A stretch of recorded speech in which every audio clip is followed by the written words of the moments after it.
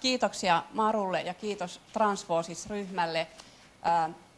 Meidän toimiston ikkunalla on tämmöinen laatikko. Tämä on laatikko, joka sisältää tämmöisiä varusteita juhlaan. Juhlaan me saadaan rikkoa tämä laatikko sitten, kun on, aihetta, eli kun tasa-arvoteko toteutuu, niin me, juhlitaan sitten käyttäen näitä hattuja ja muita. Transforsis ryhmä kävi meidän toimistossa, ei viime kesänä, mutta edelliskesänä Pride-viikolla ja, ja toi tämän, tämän boksin meille ja näitä iloisia yllätyksiä tarvitaan, tarvitaan tässä arkisessa työssä. Tasa-arvoton toimistolta ja myöskin yhdenvertaisuusvaltuutetulta on pyydetty puheenvuoroa tähän aamupäivään sukupuolen moninaisuudesta ja, ja tota, moniperusteisesta syrjinnästä, sääntelyn ja valtuutettujen toiminnan näkökulmasta. Tämä on laaja, laaja aihe, mutta siitä sitten jotakin, jotakin huomioita. Täällä on jo todettu se, että tasa-arvolakiin tuli 2015 uudet säännökset siitä, että syrjintä sukupuoli-identiteetti ja ilmaisun perusteella on kielletty. Ja, ja tota, tää, täällä todet, äh, aloituksessa kysyttiin, että onko sukupuoli yksinkertainen asia. Ainakin tasa-arvolaissa tätä sukupuoleen perustuvan syrjinnän käsitettä on lain eri vaiheissa, kun lakia on uudistettu. Sitä on täsmennetty, sitä on laajennettu.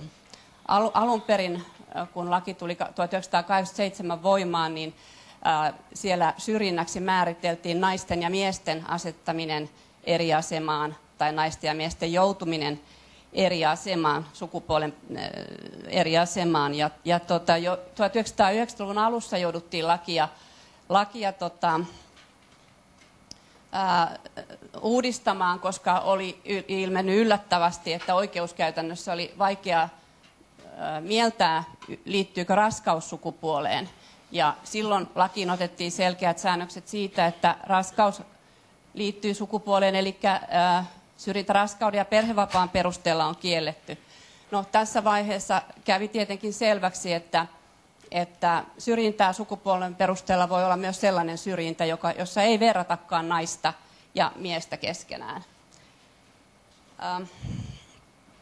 No, kun tasa-arvolakiin otettiin sitten nämä, mulla ei ole nyt sit muuta kalvoa kuin tämä, että mä tämmöinen Marun, Marun äh, huolen jaan siinä, että että nyt olisi ehkä kivempi katsoa niistä kalvoista, että mitä on ajatellut sanoa, mutta joka tapauksessa.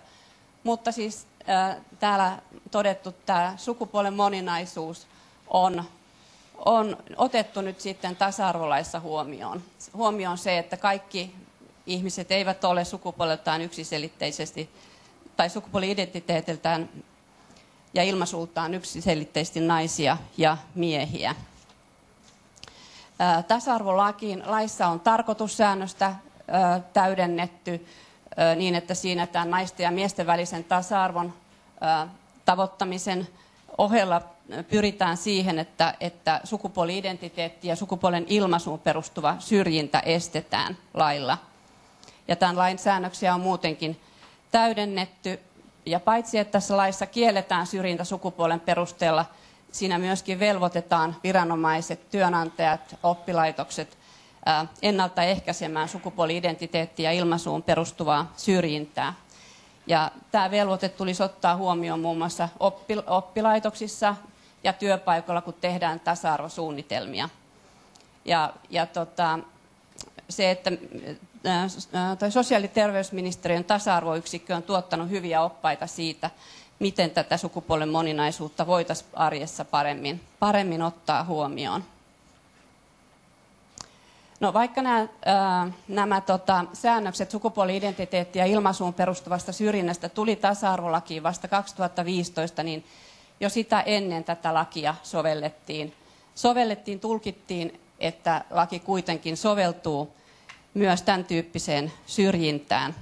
Ja tasa-arvovaltuutetun työssä työssä tota, sukupuolivähemmistöt ovat olleet mukana jo vuodesta 2005 lähtien. valtuutetun tehtävänä on siis valvoa tasa-arvolakia ja, ja tota, sen yhteydessä myöskin näiden syrjintäkieltojen noudattamista ja pyrkiä edistämään edistämään tasa-arvoa tässä suhteessa. Ja voi sanoa, että tasa-arvovaltuutettu on käyttänyt omia toimivaltuuksiaan varsin monipuolisesti tässä asiassa. Meillä on, me on, ollaan, annetaan neuvoja ja ohjeita ihmisille, jotka epäilee syrjintää. Ja, ja tota, ihmiset on kääntynyt meidän puoleen, mutta ihan niin kuin kaiken muunkin syrjinnän yhteydessä on, on selvää, että paljon jää, jää syrjintää piiloon ja vähän niin kuin moni varmaan jättää ottamatta yhteyttä viranomaisiin. Ö, mutta me ollaan yritetty tehdä tämä kynnys yhteydenotolle matalaksi. Meillä on joka päivä toimiva neuvontapuhelin esimerkiksi. Usein ne asiat, jotka ö, tulee meille syrjintäasioina, koskettaa laajemminkin Siis ei vaan tätä yksilöä, vaan laajemminkin, laajemminkin transihmisiä.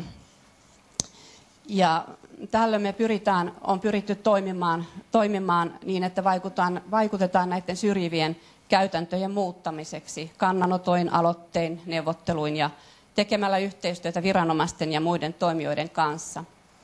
On pyritty, vaikutettu tai pyritty vaikuttamaan ja oltu mukana vaikuttamassa hormonikorvaushoitojen erityiskorvattavuuskäytäntöjen muuttamiseen, hedelmöityshoitokäytäntöihin ja valtuutettu on yhdessä työsuojeluviranomaisten kanssa antanut ohjeen tai suosituksen työpaikoille, että, että tota, ää, transsukupuolisten työtodistukset, ää, he saisivat työtodistukset korjatuin tiedoin sukupuolen korjauksen jälkeen. Ja vastaavasti oppilaitospuolella on sitten sitten tota, opetus- ja kulttuuriministeriön kanssa annettu oppi, oppi, opiskelutodistuksista vastaava suositus. Ja merkittävää meidän työssä on ollut yhteistyö transsukupuolisia edustavien henkilöiden tai tota, näiden järjestöjen kanssa. No, missä nyt sitten mennään? Se on tärkeää, että meillä on laissa nämä säännökset, jotka koskevat transihmisten syrjintäsuojaa ja sukupuolen estämistä, mutta aina on pitkä matka siitä, kun lakiin kirjataan, kirjataan säännöksiä siihen, että ne muuttuu käytännöiksi. Voi ehkä sanoa, että näiden kymmenen vuoden aikana, kun, kun transihmisten tasa-arvo ja sukupuolivähemmistöjen asiat on ollut jollakin tavalla virallinen osa tasa-arvolain soveltamisalaa ja myöskin meidän toimiston työtä, niin Joitain käytäntöjä on saatu muutettua ja, ja tota, voi sanoa varmaan, että tietoisuus transihmisten asemasta on lisääntynyt ja näkymättömyys e-, ehkä vähentynyt. Mutta me tiedetään, että on aika paljon tehtävää edelleen myöskin lainsäädännön saralla niin kauan, kun meillä esimerkiksi on voimassa nykyisen kaltainen translaki, joka syvältä loukkaa ihmisoikeuksia, kun se edellyttää, että, että juridisen sukupuolen rekisteröivä henkilö täytyy olla lisääntymiskyvytön. Totta, jos mulla ihan lyhyesti on vielä aikaa, niin Oida. ihan tästä moniperusteisesta syrjinnästä. syrjinnästä se, tässä, tässä on jo puhuttu näistä teemoista, mutta syrjintäperusteethan luetellaan syrjintälaissa tämmöisinä erillisinä perusteina on sukupuoli, sukupuoli-identiteetti, sukupuolen ilmaisu, sitten ne on tasa-arvolaissa. Sitten meillä on yhdenvertaisuuslaissa lukuisia perusteita, ikä, alkuperä, uskonto ja niin edelleen. Ja, mutta syrjintä ei aina liity yhteen perusteeseen, ihan niin kuin ihmisiäkään ei voida määritellä sillä yhdellä sukupuolella, vaan vaikka, vaikka sukupuoli on monesti hyvin tärkeä ja voimakkaasti ihmisen, ihmistä määrittävä tekijä. Ähm, mutta sitten tämä moniperusteinen syrjintä, sitähän määritellään, että sitä voi olla sellainen syrjintä, jossa tota, nämä äh, syrjin, niin kuin samanaikaisesti henkilöä syrjitään useilla eri perusteilla, mutta niin, että nämä syrjintäperusteet voisivat myöskin itsenään muodostaa jo siinä tilanteessa syrjinnän. Sitten on, on tätä niin sanottua risteävää syrjintää, eli että että tota, nämä perusteet vain yhdessä ikään kuin johtaa siihen syrjintään. Ja nyt mä ihan lyhyesti totean sen, mitä, mitä todetaan, kun me Tästä kuvasin tätä, miten tämä syrjintä sukupuolen perusteella on laajentunut, että siellä oli naiset, miehet, sitten tuli, voi verrata nainen, naista, mies, miestä, sitten tuli tämä sukupuolen moninaisuus, mutta entä sitten, entä sitten se tilanne, jolloin sukupuoli yhdessä toisen perusteen kanssa konstruoi tämän syrjinnän, niin tällä het- tota 2015, kun tasa-arvolakia uudistettiin, ja, tai osittain, mutta yhdenvertaisuuslakiin tehtiin iso uudistus, niin siellä lain perusteluissa todetaan nyt sitten tällä tavalla, että kumpaakin lakia voidaan soveltaa sellaiseen moniperusteiseen syrjintään, jossa kumpikin tai kukin syrjintäperuste voi yksinään saada aikaan sen, että menettely katsotaan syrjinnäksi. Sen sijaan yksinomaan yhdenvertaisuuslain soveltamisalaan kuuluvat kaikki sellaiset erilaisen kohtelun tilanteet, jossa kaksi tai useampi seikka vain yhdessä johtavat siihen, että henkilön erilainen kohtelu on kiellettyä syrjintää. Että tasa-arvolakia ei ole tässä kohtaa ulotettu tämän tyyppiseen syrjintään. Syrjintälainsäädäntöä sinänsä kyllä, eli että se on määritelty sinne yhdenvertaisuuslain puolelle. Mutta ää, mä oikeastaan lopetan tähän ja kiitän. Kiitos. Kiitoksia Anja. Älä ihan vielä mene, jos joku haluaa kysyä jotakin. Eli nyt saapi Anja Nummijärveltä kysyä. Siellä ole hyvä. Odota hetki saattua mikrofoni ja toinen kysymys on siellä oven vieressä. Kiitos.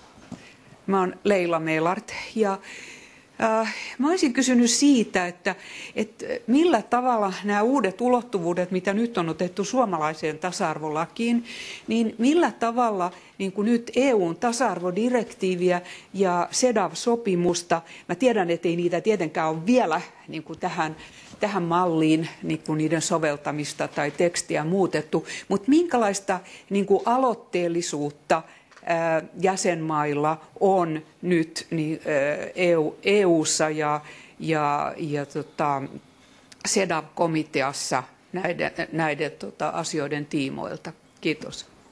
Sä, tarkoitatko sukupuolen moninaisuuteen liittyen nyt nimenomaan? No, mä tarkoitan... Eli mä en ihan, että mikä se oli se, että et minkä suhteen eihän, eihän mun kysymys ole täsmällinen, mm. kun äh, tässähän nyt sullakin on niin täällä kolme mm. erilaista näkökulmaa, Joo. jotka pitää ottaa huomioon tasa-arvolain so, äh, soveltamisessa, niin, niin vastaavastihan pitäisi äh, niin kuin EUn tasa-arvodirektiiviä ryhtyä tulkitsemaan sillä tavalla, että nämä niin kuin, näkökulmat tulevat huomioon otetuiksi ja sama koskee SEDAVin niin kuin, tulkinnan kehittämistä. Ja, ja tota, sehän on tietysti hirveän pitkä prosessi, mutta onko nyt EUn, EUn piirissä, onko mitään niin kuin aloitteellisuutta tai keskustelun avausta siihen suuntaan? Ja sama kysymys koskee nyt SEDAV-komitean työtä, jos sulla on niistä tietoa. Kiitos. Tota, mä ehkä kun me, meidän tämä työjako on se, että me ollaan lakia valvova viranomainen ja taas Suomen suhteita EU, EU-hun sekä tasa-arvopolitiikan niin valmistelua että toteuttamista valvoo tai tuota, hoitaa meillä tasa-arvoyksikkö, jotka käy näitä keskusteluja, että mitä, mitä siellä sitten ehkä, ehkä näitä keskusteluja käydään. Mä luulen, että sieltä löytyisi parempi vastaus. Mulla ei, ei tasan tarkkaan ole tähän kauheasti kauheasti, että EU-direktiivien kehittämisessä mulla on itsellä se käsitys, että tällä hetkellä ei, ei, ei ole tämän tyyppisiä aloitteita direktiivien kehittämiseen menossa, että sieltä on päinvastoin esimerkiksi niin vedetty pois vireillä, pitkään vireillä ollut raskaussuojeludirektiivi, kun katsottiin, että ei mene eteenpäin direktiivit, mutta voiko täältä ehkä sitten tasyn puolelta joku mua viisaampi vastata Leilalle tähän kysymykseen?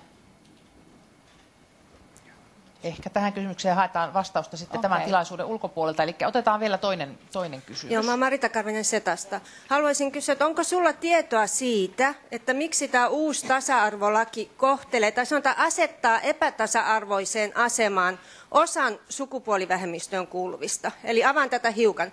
Jos me verrataan yhdenvertaisuuslakiin, missä on seksuaalivähemmistöjen suoja, niin siellä on myös velvoite edistää yhdenvertaisuutta, joka koskee seksuaalivähemmistöjä.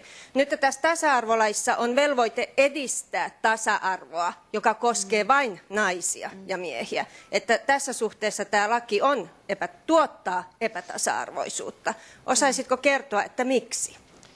Tota, eli tässähän on niin kuin, että tulee pyrkiä ehkäisemään syrjintää, eli tässä ei sanota, että tulee edistää. Mä en tiedä, miten paljon se kytkeytyy niihin muotoiluihin, että edistää sukupuoli-identiteetin mukaista. Itse en ole tässä lainvalmistelussa ollut mukana, mutta, mutta tota, ää, luulen, että, että tavallaan osin on perusteltu sitä, että, että tota, että kun ehkäistään syrjintää, niin siinä samalla myös edistetään tasa-arvoa. Kyllä, kyllä itsekin, näen näissä, itsekin näen näissä sävyeroja, että, että selkeämpi viesti on se, että todetta, se on niin laajempi käsite tasa-arvon ö, edistäminen kuin vaan syrjinnän ehkäiseminen. Mulla ei ole tähän mitään hyvää vastausta sulle antaa. Hyvä. Kiitoksia. Kiitos Anjalle ja tuota, mennään eteenpäin.